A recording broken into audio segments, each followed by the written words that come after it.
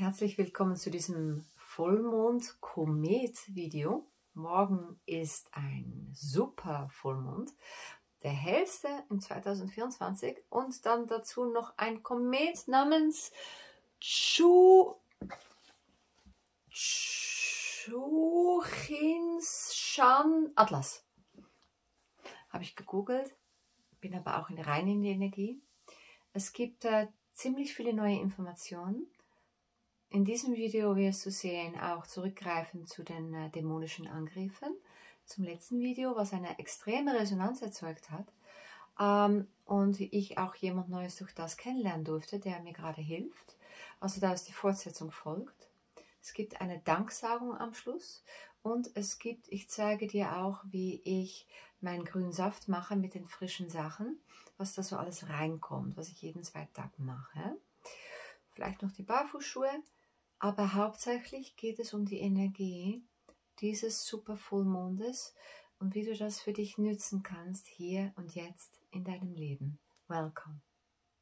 Übrigens, morgen Abend, also heute haben wir Mittwoch, wenn ich das Video aufnehme, am Donnerstag am Supervollmond, ist dieser Komet zu sehen, gerade so nach Sonnenuntergang, wenn dein Blick nach Osten-Westen gerichtet ist und wir natürlich einen klaren Himmel haben.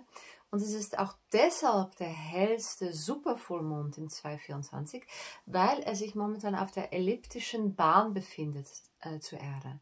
Übersetzt heißt das, er ist heute oder morgen am nächsten im 2024 in der Vollmonderscheinung und deshalb wirkt das Ganze auch größer, sprich die Auswirkungen des Vollmondes sind natürlich dann auf unseren physischen Körper und auf diesem irdischen Leben dann natürlich intensiver. Wie die Flut ja auch ähm, beeinflusst wird vom Mond, das Wasser, so bestehen wir Menschen natürlich auch hauptsächlich aus Wasser, Salz und ein, little bit Fett, ein bisschen Fett, das little bit lasse ich jetzt heute. Ähm, und dementsprechend reagiert unser Körpersystem darauf. Ähm, ich werde dir auch noch ein paar persönliche Erfahrungen machen, aber ich kann dir eins gerade vorweg sagen, die Energie seit heute ist für mich wahrnehmbar fantastisch. Ich habe ein Download seit gestern Abend auch bekommen nach der anderen. Eine von der Katze erzähle ich vielleicht auch noch, wenn ich daran denke. Und ich habe das Gefühl, dass dieser Vollmond eine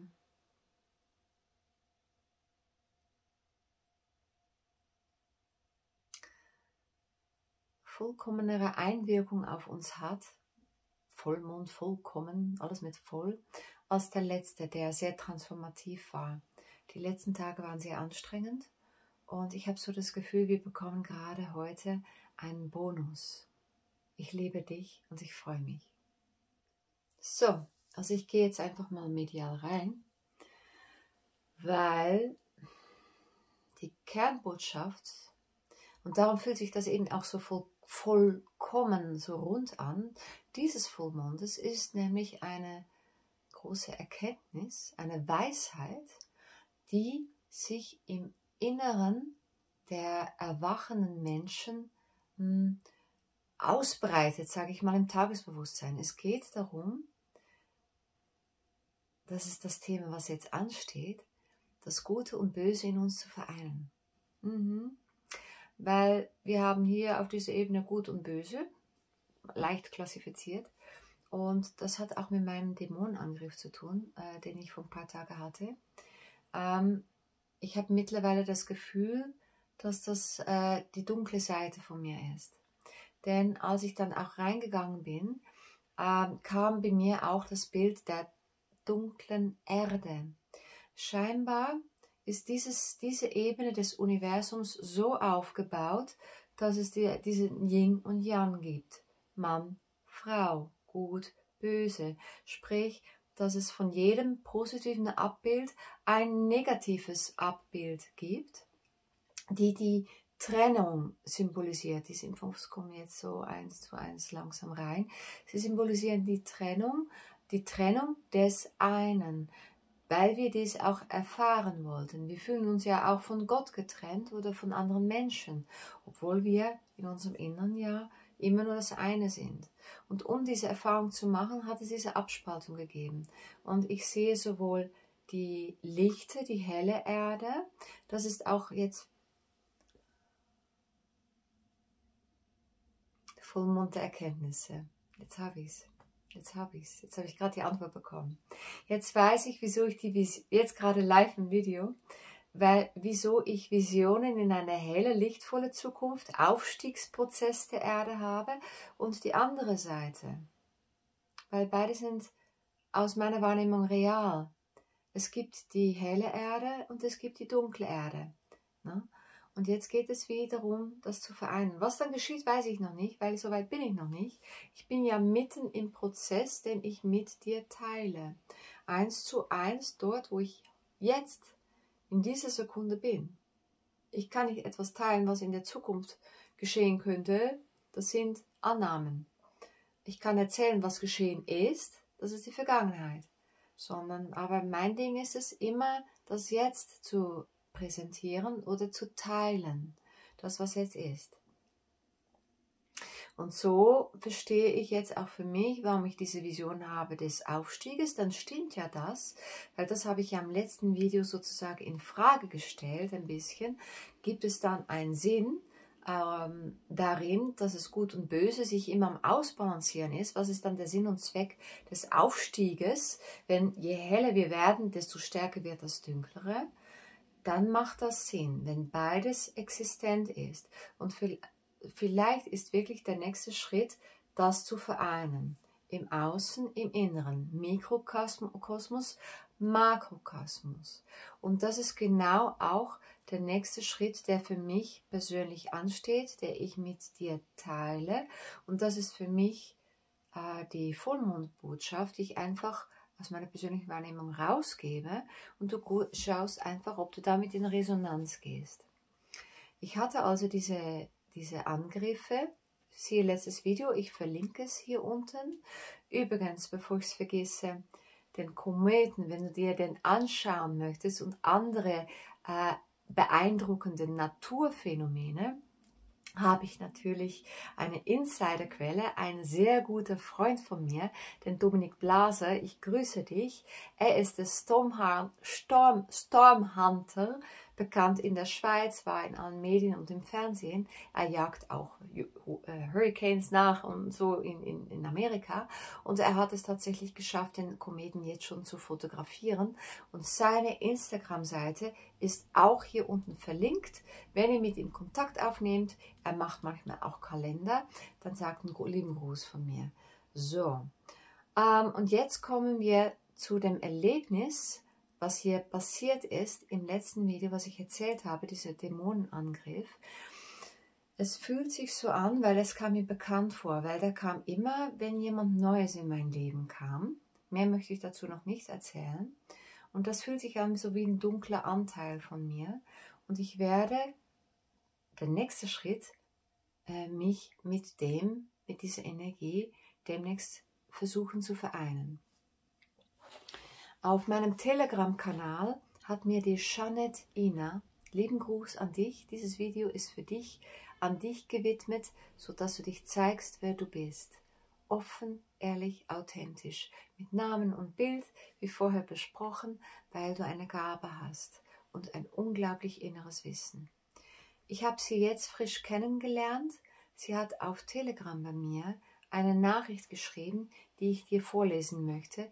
Die repräsentiert die jetzige Zeit und war eigentlich gedacht als Antwort auf meinen Dämonenangriff, was ja eigentlich kein Dämonenangriff ist im Nachhinein.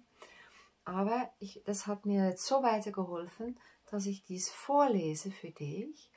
Und das gehört zu dieser Vollmondbotschaft. Und werde auch ihren Instagram verlinken. Moment. Und das war jetzt sehr viel theoretisches Wissen etc.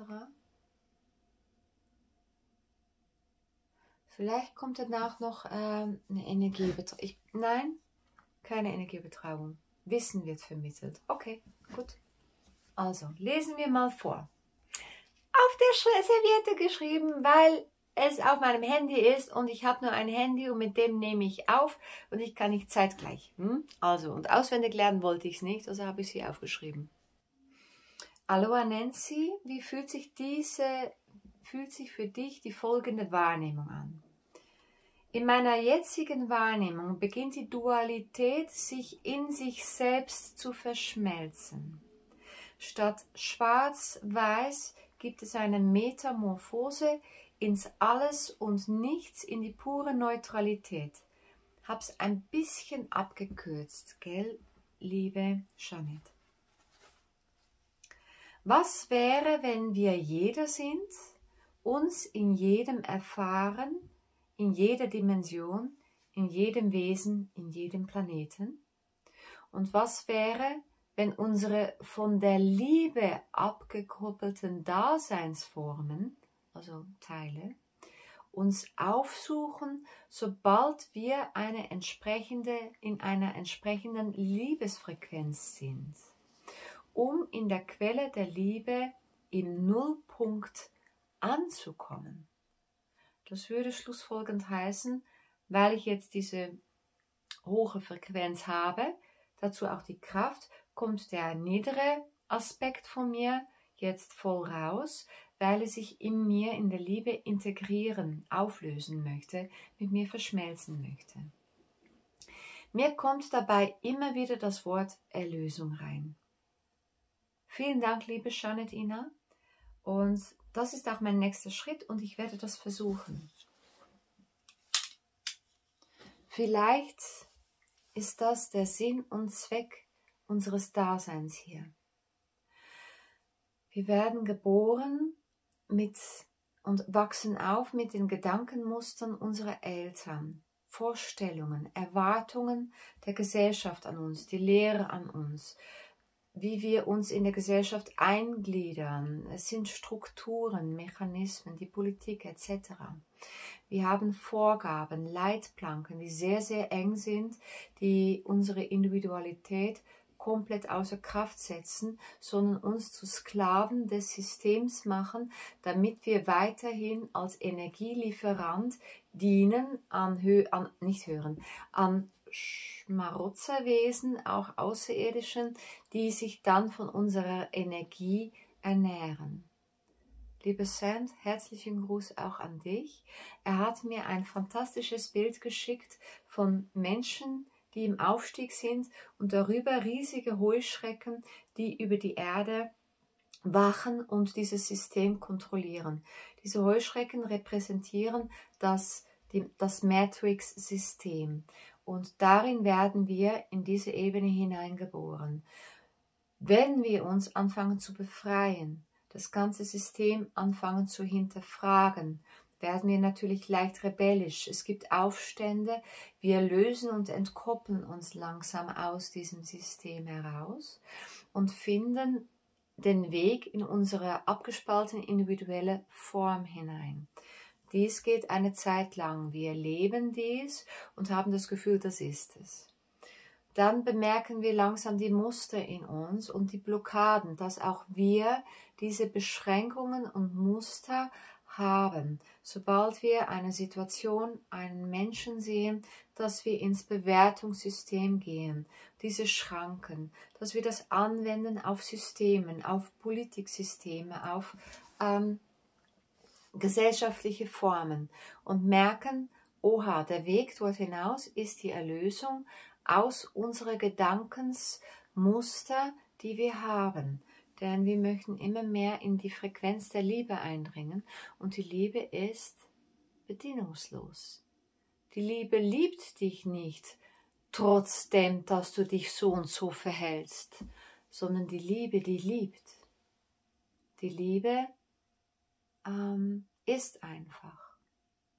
Und dann kommen dann immer dann wird es immer subtiler in der Entwicklung. Ich rede jetzt von meiner eigenen Erfahrung. Dann geht es immer mehr ins Eingemachte und zwar die Schattenanteile, die Schattenarbeit, was auch ein bisschen, ein bisschen bekannt ist in der Spiritualität, kommt zum Vorschein und die immer wacheren Menschen fangen an, die Schattenanteile von sich nicht wegzustoßen, weil sie ähm, weil ihr Ego das bis jetzt nicht zugelassen hat oder ihr Selbstwertgefühl. Viele wollen einfach nur das Lichte sehen und auch das Lichte in sich, weil sie ähm, mit dem Dunklen wie noch nicht überfordert sind oder wie nichts anfangen können. Sie stoßen es weg. Das hatte ich auch. Ich habe die dunklen Anteile in mir sehr jahrzehntelang weggestoßen. Und nun kommt das halt langsam an die Oberfläche und zwar dann, wenn wir auch bereit sind. Wir fangen also einerseits an die sogenannte dunkle Seite nicht nur in der Welt zu sehen, zu anerkennen und es triggert uns immer weniger, sondern wir können es wie stehen lassen, so ist es aber auch dann mit uns selbst. Diese dunklen Anteile in uns werden angeschaut und anstatt sich dafür zu schämen, ich schäme mich für diese, diese, diese, kann ich sagen, ja, das ist ein Teil von mir.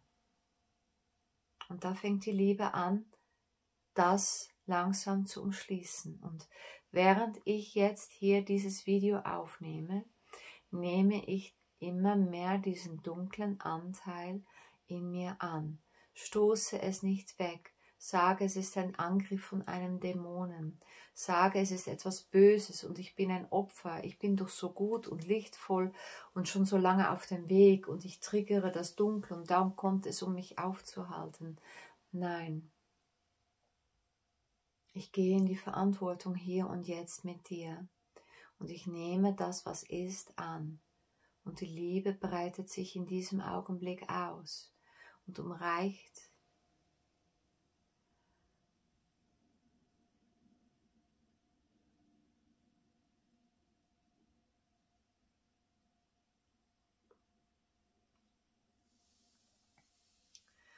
und umschließt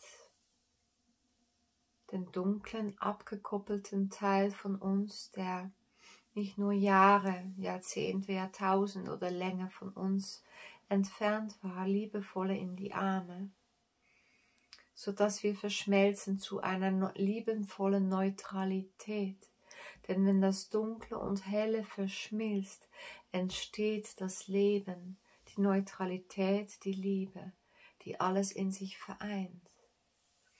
Und das ist der Weg der Erleuchtung, das ist der Weg des, der Einstwerdung, das ist der Weg, den ich jetzt gehe den ich jetzt mit dir teile. Und ich spüre, dass jetzt live in diesem Video in mir Heilung geschieht, weil ich diese, dies nicht mehr wegstoße, dies nicht mehr abtrenne als etwas abgekoppeltes von mir, sondern dass ich das liebevoll umschließe mit meinem lichten Teil und ich spüre, wie das Dunkle in mich eindringt. Und jetzt mit mir verschmilzt zu einer Einheit. Der Prozess geht länger. Der ist nicht abgeschlossen mit diesem Video. Es ist aber ein Schritt. Ich fühle meine Kundalini. Ich fühle die Schwere in meinem Beckenboden, in meinem Wurzelchakra. Das tut etwas weh.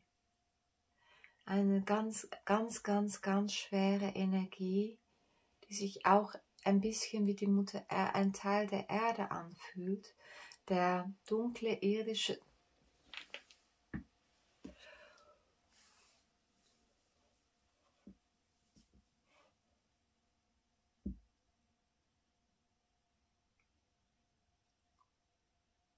Ist alles gut. Der dunkle irdische Anteil, die dunkle Erde, wird jetzt auch integriert in mir. Es ist die Verschmelzung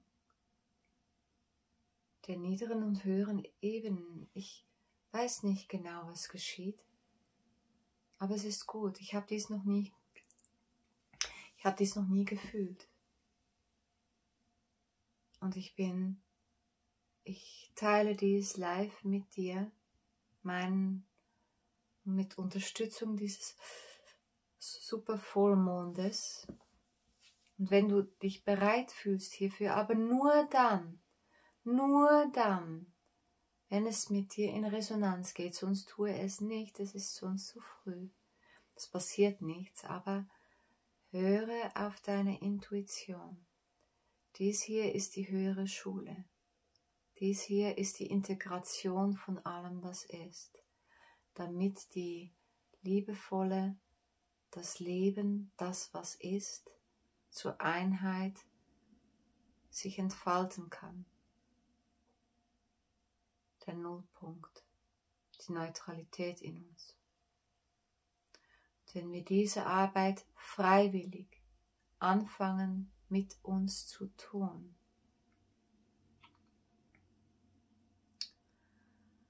hat dies Auswirkungen auf das morphogenetische Feld. Ich werde müde.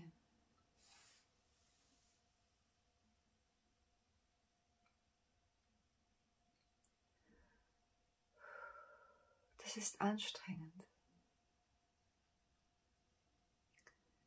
Ich beende, ich wollte noch so viel sagen. Ich muss kurz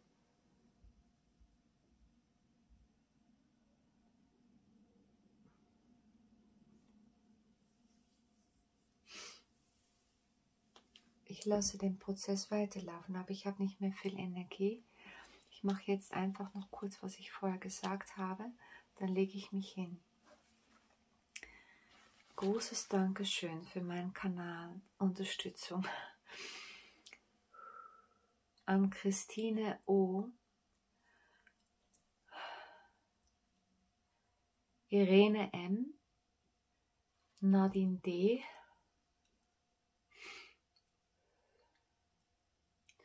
Johanna I oder L, Martina W, danke für deine Worte. Thomas M, Bettina H, danke. Bettina hatte ich vergessen das letzte Mal.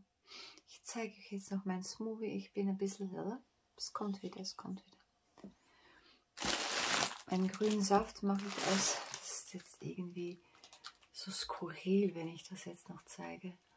Das fühlt sich jetzt so komisch an, aber ich mache es jetzt, weil ich es gesagt habe. Manchmal muss man auch die mini, mini, mini Zähnchen zusammenbeißen. Bio-Blattspinat, Stangensellerie, Petersilie, habe noch Wildkräuter, ein bisschen Federkohl, Federkohl, frischen Ingwer. Und ähm, Kurkuma, Salz. Ich hätte jetzt fast gesagt, das ist fast das heftigste Video, was ich je gemacht habe. Mal gucken, wie jetzt die Reaktionen sind. Oh, und habe auch noch gesagt, meine Barfußschuhe, mit denen ich durch die Berge gelatscht bin. Da hat mir jemand gefragt, welche Marke, ich weiß nicht. Guck einfach nach. Leguano. Habe mir die auch noch reingezogen. Die auch noch. So. Moment. Wie ein Biotop, hä? Da schwimmt noch alle Hanf, äh, Brennnesselsamen von heute Morgen drin. Es geht langsam wieder.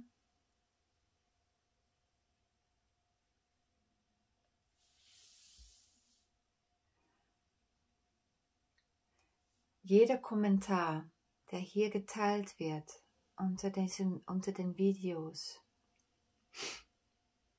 ist eine Öffnen und ein Sichtbarkeitsbekenntnis deines Wissens für die Öffentlichkeit. Und du stellst dieses Wissen frei zur Verfügung. Und dieses Wissen wird von anderen gelesen. Und das meistens als Hilfe empfunden. Das ist der gleiche Grund, wenn du einen Kommentar unter meine Videos schreibst, ist das das gleiche wie dieses Video, was ich einfach hier aufnehme und teile. Ich teile mich selbst aus dem Jetzt und stelle das frei zur Verfügung. Für diejenigen, die diesen Weg gehen möchten und von das, was ich bereits jetzt integriert habe, profitieren wollen.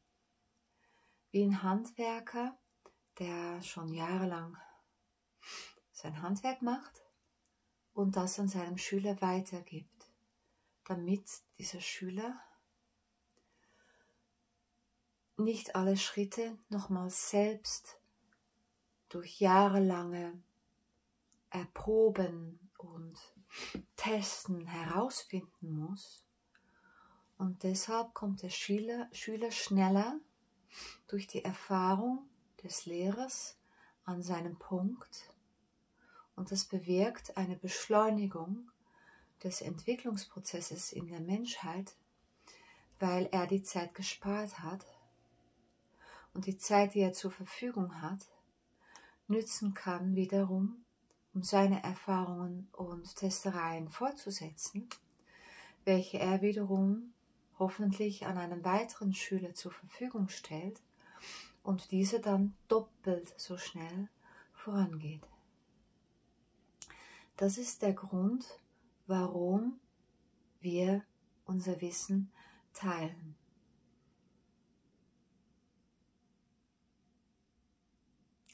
Danke, dass ich deine Lehrerin sein darf. Ich liebe dich. Bis zum nächsten Mal.